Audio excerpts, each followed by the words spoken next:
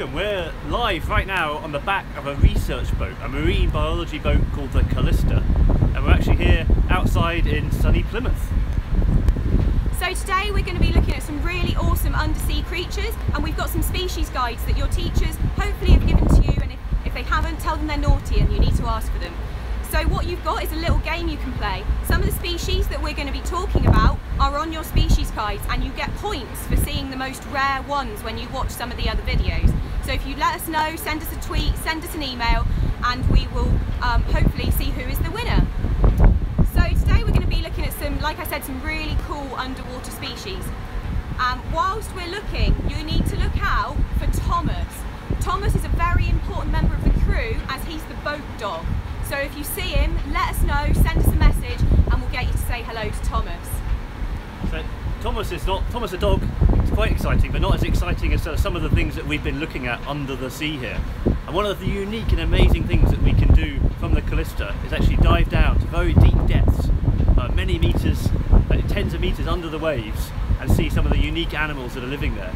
We're using a really special, uh, an important member of our team called Rex, uh, the underwater mini robot submersible, to actually uh, find some of that. So I think that Amber, is that right? We're going to go inside and look for some of those things. But before I do, one of the things we wanted to point out was it's really important if you want to email in uh, using the email addresses that we supplied you uh, any questions during our live broadcast here and we will be able to answer those uh, as we go. Cool, so if we head inside now, we're just going to go and see Nick and our underwater robot Rex.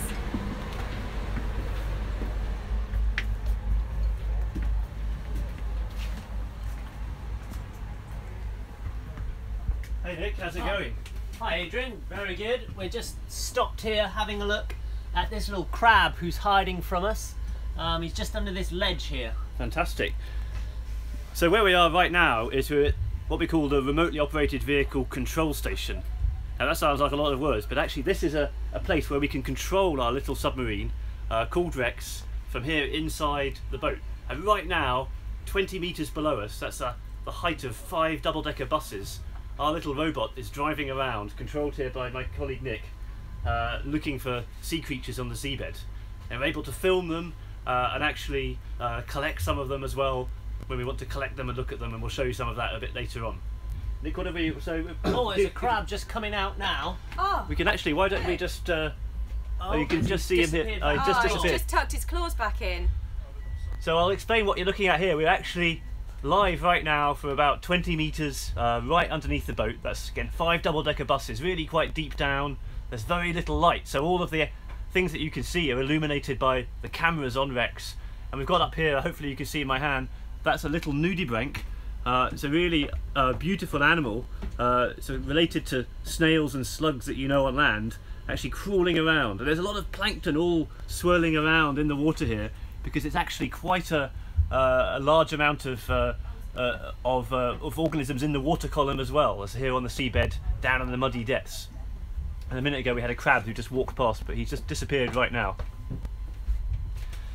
So Nick, do you want to uh, just try taking off? Yeah, let's sure. Go, gonna... Let's uh, cut across here to Nick uh, and watch him fly the ROV.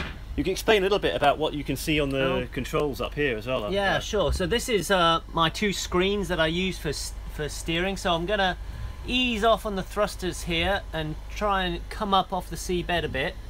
So here we are, and that's just and now flying around underwater. Hard, Oh, and there's a little sea squirt, and in the distance are some white anemones I can see. Um, just having a look at this little rocky area, looking around for some life on the seabed. I've got my compass just down here telling me which direction I'm going in, so I know where I'm heading. Um, this tells me how deep I am in the water, so I know how far away I am. And Nick, how do you see? So obviously it's quite hard to see here at the moment yeah. uh, because all the murk. How would you? Is there anything that on Rex that you can use to to see a bit further uh, uh, into the beyond just those few meters just in front of your lens? Well, we've got we've got our lights, which I can turn those up a notch. Um, Why don't you try so switching the lights around. off, and then we can actually and see how we, dark it is down there. You can show turn everybody. the lights off. Oh, that's completely dark. So then I turn the lights back on a little bit, and you can just see all the mud. But also, you can't. Oh, here's a Whoa, giant crab. there's a big crab. Wow, that's cool. Here's a spider Oh, it's a crab spider that crab. we're just coming up on. Fantastic. Oh, and I'm just stirring up a bit too much mud against the current here. He's disappeared. Let's see if we can find him again. There he is. Oh, I think So- I can see one of his tent- his claws there. there's lots of fine mud around here. Which, Just thrust forward very gently. oh, Very gently. bumped him. Yeah. Oh, Let's try and go around a bit and see if we can. while you're trying to find the um, while tr- Nick tries to find the uh, crab, I'll just explain what's going on over here. Uh, this is a what's called a sonar. So one way you can look underwater and see further is using sound waves, and you can see here this sweeping green line is actually looking in front of the ROV and picking up uh, objects on the seabed to up to 20 meters away, and that allows us to find things uh, that are a bit hard to see in the murky waters in where we are now, which is in Plymouth Sound. Uh, sometimes it's quite clear water, but at the moment the tide is running, uh, and that brings a lot of muddy particles into the ocean. So, Nick, what's uh, what's the most exciting thing that you've ever found with Rex, uh, the ROV? Oh, I think once when we were in uh, in the Bahamas in a deep sea canyon, we had a massive sailfish come up, and it's really colourful. It has this big purple sail fin that it sticks up in the water when it's interested in it. Took a good look at it, and it was just beautiful to see. That's fantastic. Yeah. No. So sometimes we're able to take take Rex uh, out on expeditions uh, beyond the the coasts of Britain and actually out anywhere in the world. It's small enough to be able to take it away uh, on an aeroplane and actually deploy from really small boats. Uh, Nick and I even deployed it off from the uh, the back of a, a small jeep into one of the amazing blue holes of the Bahamas one time. And that must have been one of the highlights that I've ever had piloting Rex. Have you found the crab, Nick? We'll come back a bit later and see if you found him. Still having a look around. So one exciting thing we do want to say is there's loads of other videos on our RovRex YouTube that you're watching us on now. There's a really cool video of a shark in the Bahamas that Rex filmed. Uh, so take a look at that one. And there's a really good dive on a place called Eddystone Reef, uh, Eddystone Reef and it's number 88 and the species guide you've got that'll be a really good dive that you can do your um, game with with the points so take a look and let us know how many points you get so I think we're going to head out and see some of our equipment now some other outdoors That's right, Amber. equipment Yeah, let's head outside and uh, and we'll explain a little bit about how we actually take samples uh, using Rex and using other equipment uh, from the seafloor and bring them up to the surface so we can study them. Okay. So we're now back out on the back deck of the Callista, uh, and one of the things that we can do with Rex is get up close and find things uh, that we want to sample, and then go there and actually take those grab samples uh, with another device, which can take more things up to the surface. Because it's really, really important for us to be able to see things, uh, get our hands on them, identify them, and try and work out what species they are. Species they are. Just as some of you are hopefully doing with the, the videos uh, that we've got on the archive. Uh, so right over here, I'll just take you down and explain this. This is uh, one of the main tools that we can use. It's called a, a grab sampler, quite simple. Lower it to the seafloor uh, using this chain here, uh, and when it reaches the seafloor, these arms close. Uh, grab a big sample of mud and anything that's on the seafloor, and then we can bring it up to the surface. And this actually is one of the really fun things to do as a marine biologist, is to get samples and to bring back, and what's often uh, we bring back is a lot of mud. Uh, and that means we have to process that mud, we have to deal with the mud and all the animals that it contains out here in the back deck. And doing that uh, is quite good fun. It involves things like here, Amber, have you got a sieve? Yeah, so this is our sieving platform. Um, basically, you have sieves with lots of different size holes in, and they catch different size animals. And when we put the all the animals and the specimens on here, we get a massive hose and loads of mud, and we wash it all through. We use our hands. We get really muddy. So when we do this, we have to wear some very strange clothes, which we'll show you now. They're very bright. So if we take you over here, we have Chiho and we have Cris. And Chiho and Cris are in their very bright, attractive uh, oil skins. So the good thing about oil skins is that when you get mud on water on them, it runs straight off. So I'm going to stand out the way because I'm not in any. oh no, I'm covered anyway. but it runs straight off them. So all their clothes underneath are completely dry. Well, we might have put some holes in them to make them wet, but you never know. Okay, I quite enjoyed that. Uh, so next up, uh, we're going to go and have a look at some of the animals that we bring up and we've collected on those sieves and what we do with them after that. And actually, this is actually in some ways the most exciting part of all, is that we go in and we look at them using something called a microscope. And in fact, if you just follow me backwards here, uh, we can have a look in the microscope lab. Uh, so welcome, uh, the microscope. Oh my goodness me. We have got on the screen here something fantastic. Helena, who's with us, maybe we want to introduce Helena. Uh, so Helena is here looking at the microscope. Hello. Uh, looking at some of these tiny animals. So Helena, uh, tell us a little bit about what you found here. Yeah, so this is a worm from the seafloor. So this one lives about 20, 30 meters down in the sediment. And even though it doesn't look like it, it is quite closely related to earthworms. And this one is, is a, a species that is called Eupolymnia nebulosa, quite a fancy name. But it is quite beautiful, don't you think? It's not very big, as you can see in the petri dish. Can you? Here's my Oh, finger yeah, for you- scale. So it's Oh, not wow, very they're big. tiny. Yeah. But they're beautiful. Tiny and beautiful. So is it really difficult doing uh, really fiddly work like this all the time on the boat? Oh yes, it is. When when we have bad sea, when we have high waves, it's really really tricky. Both to look down in the microscope and also to keep everything in place. So we have to tie everything down very carefully so it doesn't fall over when, when a big wave hit us or something. Cool. So we've That's actually got um, a few questions come in that we're going to answer now. So if we head back outside, um, we'll answer some of your questions. So if you want to follow me.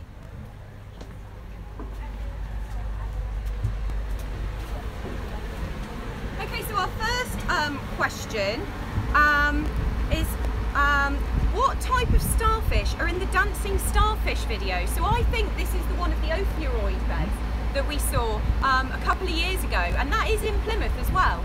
What they're called are brittle stars because they have really thin, spindly legs, and no one had ever discovered that before. No one knew that those starfish were living there, and you just put Rex down, didn't Yeah, you? Yeah, that's right, Amber. What we what we did, we were quite lucky. We took some grab samples. We're actually collecting all new grab samples. We put Rex down.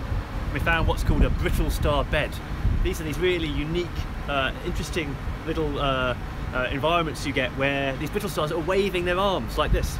And what's fasc- fascinating is what they're actually doing is feeding. They're they're basically drawing food out of the water column uh, down into their tummies.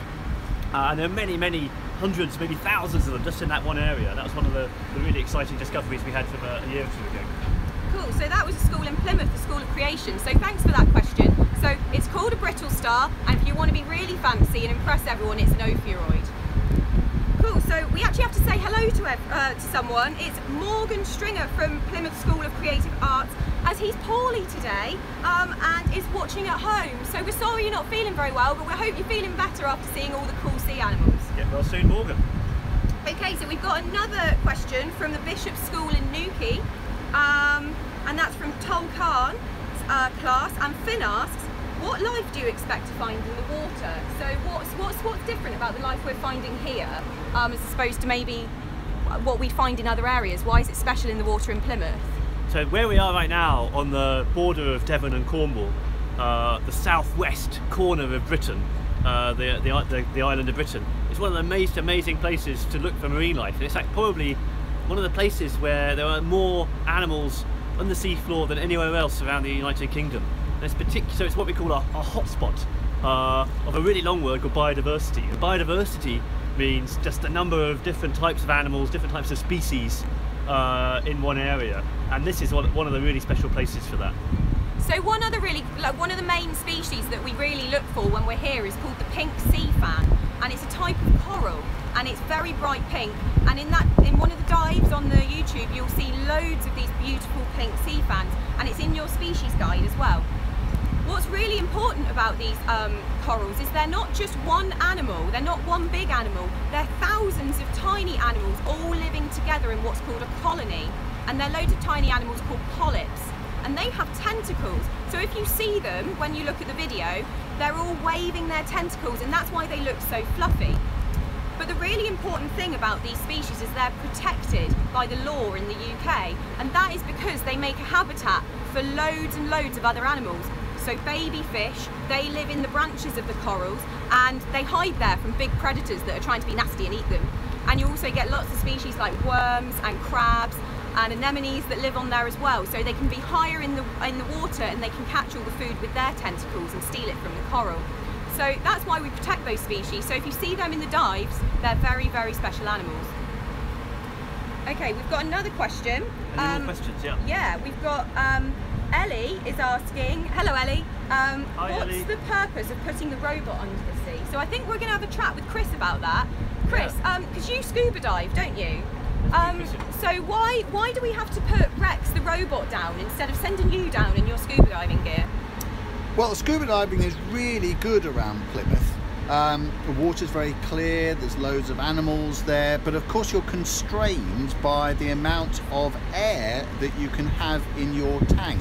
And that means that after a while, you actually have to come up to the surface. And the great thing about Rex is that Rex doesn't breathe air, so Rex can stay down a long time on the sea floor. And also another thing about Rex as well is Rex can dive quite deep. So uh, Rex can dive to tens of meters deep, more than I could dive as a scuba diver. So Rex can stay down longer, can go deeper, and also Rex has got a much better camera than my own eyes. So Rex can actually zoom into the tiny little creatures, which are really difficult to see. Awesome, thanks, Cris. So hopefully we get some more questions and we'll answer any others that come through later. Don't worry, we will answer all the questions. Uh, Amber, we might also have time to pop back in and see if Nick's found that spider crab. in it. Uh, Yeah, if- yeah, well, perhaps, hopefully. Uh, perhaps at the end, yeah. Yeah, we'll have a look, see if we can hunt down the spider crab for you. So, one thing that we do as scientists is we all really specialise in certain areas because the sea takes up such a huge part of our oceans. Um, it's most of our world, and so we all have to specialise in really specific areas so that we understand them and become experts. So, Adrian, what, what's your specialist area? What are you an expert on? Well, one of the things that I'm working on at the moment, Amber, is really studying how animals in the deep ocean, and that's deep, uh, really, really deep sea, get their food. How deep is really deep, though, Adrian? Well, the average depth of the oceans is three and a half thousand meters. oh my goodness. So at the moment we're working, Rex is right now underneath us at about 20 metres depth. Uh, if we went out to sea, maybe into the middle of the English Channel, we maybe get to about 100 metres depth. Uh, but actually that's just a small fraction uh, of really uh, what most of the oceans are, which is like really, really deep sea. Uh, and with Rex it's only capable of going to sort of 100 to 200 metres. To get those really deep depths, we use bigger ROVs, bigger robot submarines. And one of the things that we're working on is how those animals in the very deep sea get their food. And what we're doing here right now is conducting an experiment. Actually, right, right underneath us, we have the uh, system down, looking at exactly that. We put down some very special experimental things to see how animals here uh, actually feed. And right here, you've got an example of those. And these are uh, pieces of wood. Uh, I don't know how well you, you can still see this, but we're actually looking at a piece of wood which we brought up uh, from the seafloor yesterday, and it's covered in animals. These are still alive. I'm just going to put my finger in here and show. Hopefully, you can see some of these uh, little animals which are boring into the wood and consuming it. And what we were what we were working out is that not only uh, are there animals in the wood here uh, which are actually consuming it and getting energy from the wood, but we also found species which are entirely new to science. Uh, actually living uh, in those in those things, and right next to this bucket, uh, we have something else really amazing. I don't know how well you can see this, but there is a whale bone in here, uh, and that is a, quite a smelly bucket. Uh, it's one of the smelliest buckets that we've got on the boat. It does smell quite bad. Yeah. Uh, and whale bones. This is a, a whale bone that we, we had in the collection in the Natural History Museum that we actually put down as an experimental uh, package uh, to see what would colonise and eat it. And just a few years ago, we found a species entirely new to science called Osedax Wow. uh, growing on the whale bones. It was really, really remarkable. We're looking out, and a little bit later on, we're going to be looking over this bone to see if we can find any of those. I noticed just now, Adrian, that you said that they were boring animals. I mean, you can't think they're not interesting. what did you mean by boring? Yes, that's boring, as in making a hole in these things on the Oh. seafloor. So boring as in boring a hole, not boring as in we don't find them interesting. Oh, well, that's I good find then. them fascinating. And in fact, these these animals, Osedax in particular, uh, it's actually the name sounds a bit weird, but it's actually Latin for bone eating. uh, and we, we found them. And now we know there's over 20 or maybe even 30 species of them all around the ocean that actually consume the bones of dead whales on the seafloor after they've landed there. That's something that we had no idea about until uh, just a few years ago when we started doing these experiments. So they're bone-eating zombie worms, basically. That's that's what some people call them. Yes. so they're They're- fascinating, but also kind of disgusting. They, they are a bit uh, off-putting initially, uh, but once you start to learn about their biology, you find that these things are really, really exciting and raise all kinds of questions about how animals have evolved to adapt to different types of environments, and particularly uh, those in the marine system that we knew very, very little about and were only discovered relatively recently. That's really cool. So we're still finding loads of species that we don't know about in the oceans. So we need to keep looking. Even in places like here, uh, close to home, there are species which we find which are new to science. Elena, who we were just talking to, has described new species of very small worms uh, from the North Sea, from the habitats just around uh, the British coast. So we, we, it's, it's really remarkable. But as you go into the very deep water, that the number of new things you find, the new species, does increase. Uh, but here, uh, where we're working in shallow water, if we look at small animals, particularly things living inside these unusual uh, structures, bones and pieces of wood on the seabed, we still find new things. Yeah, it's funny you say that. We, I was on a cruise last week and someone's discovered two new anemones just Oh, when we sent incredible, yeah. ROV down then as well. So Yeah. yeah. it's amazing. So that's why we do our jobs. Fantastic. so next, we, any more um, questions, or should we? Yeah, we've got some more questions. Um, we have got a question from Isaac and Leo. Hello. Um, did you build the robot yourselves? Oh, that's a good. No, we didn't. No, we, we bought it. Uh, so yeah, very good question. So we bought a little robot, but what we have done is we've we've customised it. So we've added all kinds of things to it to ourselves, and we've also invented a whole new way of deploying it off the ship. Because most of these little robots are actually built for other kinds of work. For example, just working in a harbour, inspecting the bottom of a boat or the, the underneath of a, of a pontoon to check uh, if it's okay or not. We've adapted it to be able to, with a really amazing camera uh, and other features, including a little manipulator arm that allow us to actually take samples uh, and do all kinds of marine biology experiments. So uh, it, it- we didn't build it entirely ourselves, although sometimes it feels like I am building it from scratch when, we, when it goes wrong and we have to take it to pieces. Yeah, we've had that a couple it- of times. Yes, almost every, almost every other time. Yes, yeah, It's a character. yeah. Um, so yeah, another question, question about uh, Rex the robot. Um, I haven't got a name for this, sorry, but I hope you know it's your question. Um, how long does the robot stay in the water? Right, that's a really good question, actually. An excellent question. One of the amazing things about Rex is it can stay down as long as we want. So, as long as we provide power, electricity from the ship down the long cable, uh, which feeds Rex its, its, its electricity and sends the video back up to the surface, we can stay down as long as we want. And I think Cris earlier mentioned that uh, one of the issues with scuba diving is that you're limited to really uh, 30 minutes or 40 minutes uh, on the seafloor, which doesn't give you very much time to do anything. And the other thing with a little robot like that is that uh, it sends a video back here we can all watch it. So we can all sit in the lab as long as we want, uh, drinking our cups of tea, watching uh, Rex uh, dive around and actually make observations of underwater life uh, right there. So yeah, it's a really, really good question. I think we've got some more questions, is that right, Oh, that, I've just found out where that question came from actually. That was from Treviglas Community College. And actually, that's my old school, so hello everyone. Fabulous. Thanks Yeah. guys. um, cool, so um, another question. Uh, what if Rex stops working? What do we do Right. then? Yes, we, well, we've had that happen a few times. sad. Very good question. Uh, Rex, uh, Rex is quite tough. Uh, he's had a lot of adventures. We've had 115 dives. In fact, right now, Rex is on the seafloor. Is Rex still working? Yep, I can see. I can see film on the camera. So we're still going on dive 116. Um, but just occasionally it loses power. If that happens, it floats back to the surface, and we can recover it. Um, sometimes uh, it might get entangled in things on the seabed, in which case we have to try and figure out how to free it. And we've managed that sometimes, and other times we have actually lost little bits of it, got caught in fishing nets. Uh, but Rex is still going strong, um, and we're, we're pretty confident uh, we'll be able to get quite a few more dives out of him yet. Cool, so that was from Daisy and Rosie, so cool question. Thanks guys. Um, how far from the boat can Rex actually go, Adrian? Yeah, good question. So we have 200 meters. So we have 200 meters of cable. Uh, so we can go in any direction from the boat uh, in 200 meters. Uh, so straight down, we can go to 200 meters deep if we wanted. And then actually, Wow. Nick and I, um, in the Bahamas, we dived to 170 meters Wow. uh, below the sea, below, below the boat, uh, right over the Great Bahama Canyon.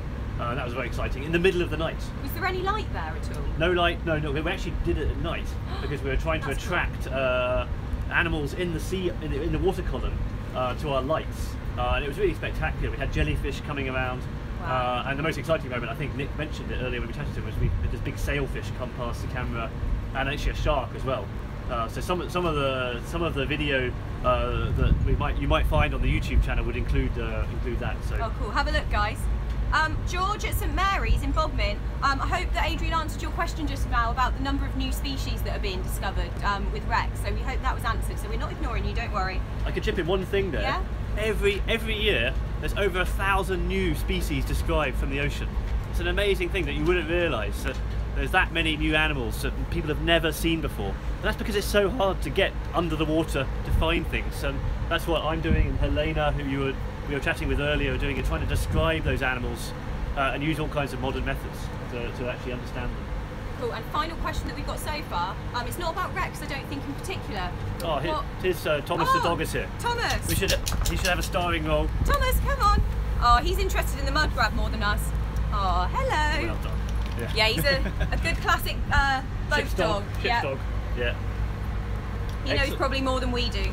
Um, so yeah, the question is, and I think we could all probably chip in on this, is uh, what's the strangest thing you've seen, not just with Rex, but ever in the deep sea? Strangest thing. Uh, oh, that's a difficult one. It's quite a difficult question, isn't it? Yes. I wonder. Um, well, one of the one really strange thing I remember when we were in the Bahamas, and we were going basically just off the edge of uh, a deep canyon. So we were going. We were about 50 meters below the sea, so about twice as deep as we are now diving right now.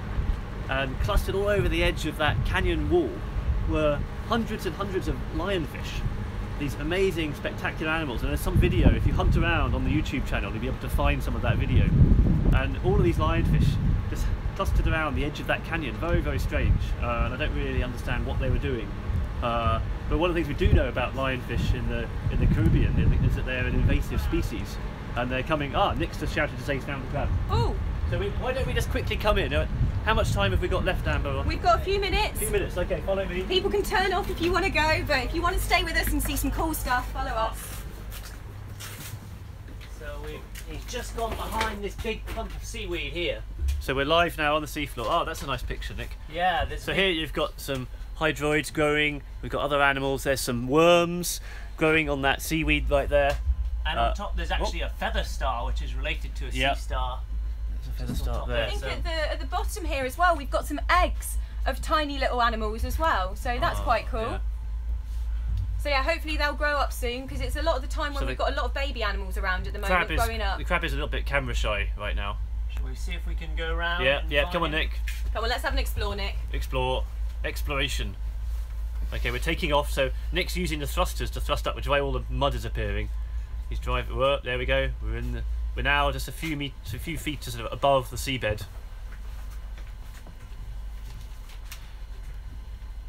So one of the other problems that we were having. Oh, there's uh, something behind there. I saw something. Yeah. Let's just settle and see if we can Oh, it looks like a big soup, doesn't it? Soup Wow. of mud. just wait for the mud to clear away. So one of the problems, Adrian, is that it's so the current is really strong right now because of the tide. So we can only sort of go in certain directions. We- Is there anything left? Well, we may have to keep an eye out for Mr. Crab. Uh, Okay. Was it spider crab, wasn't it? That was behind there.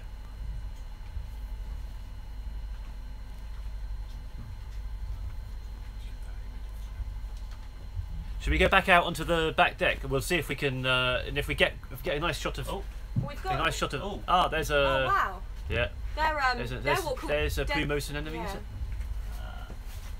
Let's have a look. So this is one of the mooring lines that's coming off the. Ooh, yeah. Yeah, so lots of lovely anemones here, and you can see them all feeding with all their tentacles out. So that's how they get all these particles that you can see floating about in the water column. They get their tentacles and they put them into their mouth. And a nice disgusting fact for you is that their uh, their mouth is also their bottom. So uh, you know, multi-purpose anemones these are. Fab- fantastic. Well, I guess we, our time's almost up, isn't it, Amber? yeah, I think so. should We've we head got a back couple out? more questions. Couple Make more sure questions. we answer everyone's questions before we finish. Let's pop out onto the back deck. Past Helena and the Worm Lab. So this is actually another question from my old school, Treviglas. So cheers, guys. Uh, does does Rex manoeuvre himself about in the sea, or is that what Nick's there for? Exactly, and yeah, that's so- Jasmine, by the way. That's a really good question, Jasmine. Yeah, that's right. Nick is actually piloting Rex and he's pushing on little joysticks which control propellers on Rex, which allow it to move forwards, backwards, and left and right, and actually up and down as well. It's quite difficult uh, flying Rex. It's a bit like flying an aeroplane, a sort of model aeroplane, uh, remotely.